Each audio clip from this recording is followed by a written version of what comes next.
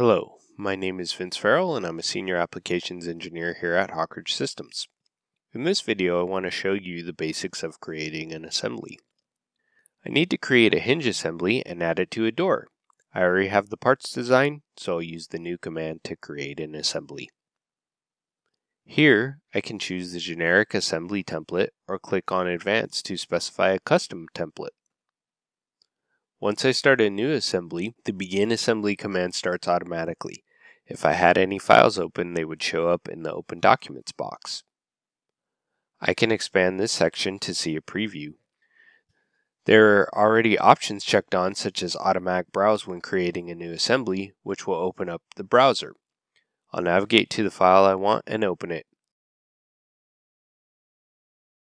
Notice I can select the configuration display state when I'm adding the part, but I can also change that later on. Once I've selected it, having the graphics preview option checked will allow me to see it in the graphics area. This last option allows you to rotate the part before you place it, which I'll use to make the hinge plate vertical.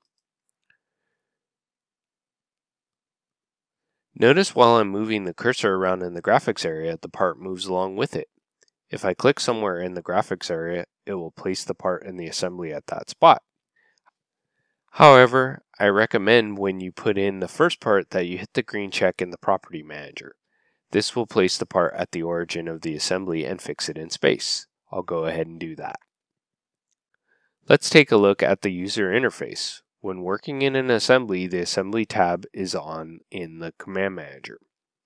We see this icon in the Feature Manager tree to indicate this is an assembly.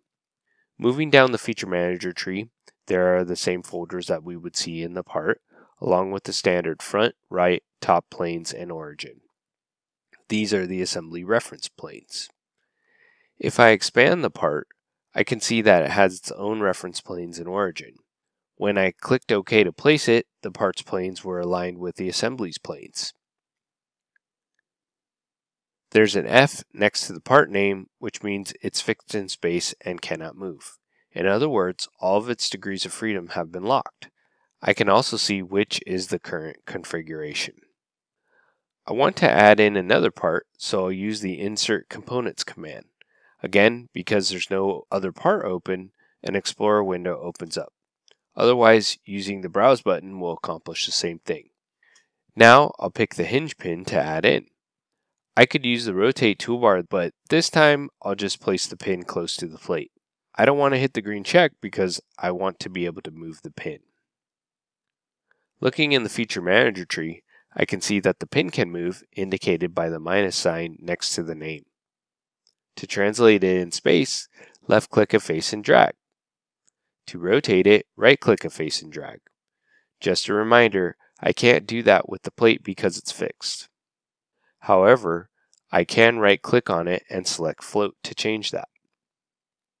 Before I mate a part, I like to move it close to its final position. This makes it easier for me to predict how SOLIDWORKS will apply the mates. Speaking of mates, let's add some. I'll hit the mate command up here. As you can see, there are many different mates and categories of mates, but I just need the standard ones.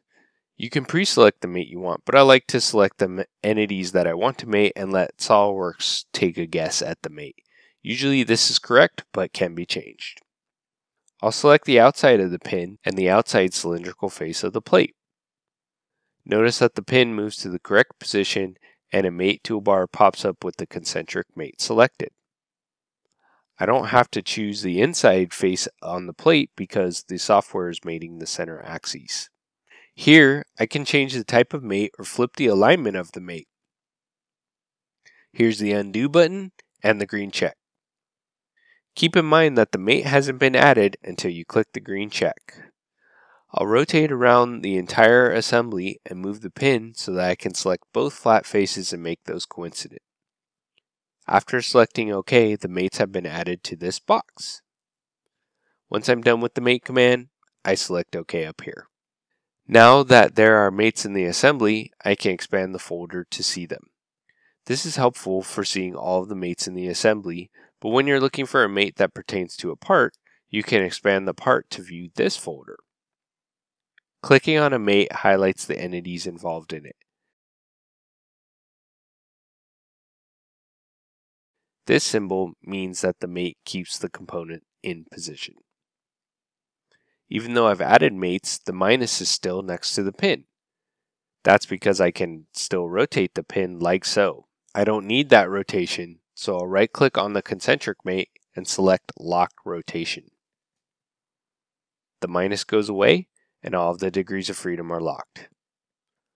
Lastly, I need to add in a second hinge plate. I could use insert components again, but it might be easier to copy the first one. I can do this by selecting it in the Feature Manager tree, holding Control, and dragging it into the graphics area.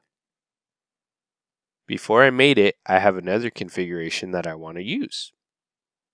By right-clicking on the part, I can select the correct configuration here. Now, I'll position it for mating. I'm going to use another method of mating, bypassing the mate command. I'll select the cylindrical face of the plate then hold Control and select the face of the pin. This pops up the mate toolbar where I can just select the mate I want and move on. I'll do the same thing to the flat faces. I'm not going to add any more mates because I don't want to keep the hinge from rotating. I'll save the assembly.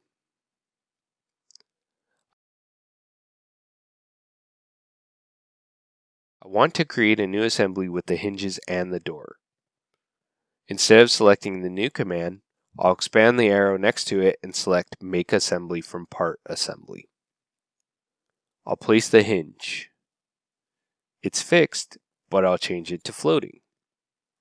I'll add in a door and mate the hinge to it.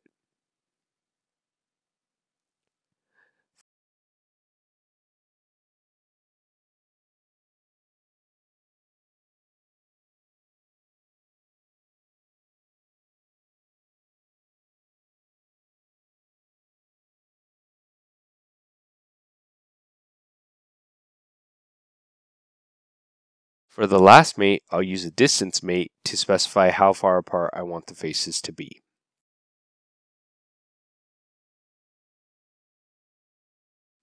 Now the hinge assembly is a subassembly. If you recall, in the hinge assembly, the hinge could rotate, right? However, when you place a subassembly in an assembly, the positions of the parts are locked in the last saved position. I can show the rotation of the hinge by right-clicking on it and selecting Make Flexible. Keep in mind that this isn't the default behavior because it requires more processing. It's recommended to leave the subassemblies rigid in large assemblies as much as possible. Hopefully this video showed you the basics of creating your own assemblies. If you enjoyed this video, please like it Subscribe to the Hawk Ridge Systems YouTube channel for more videos like this, and thanks for watching.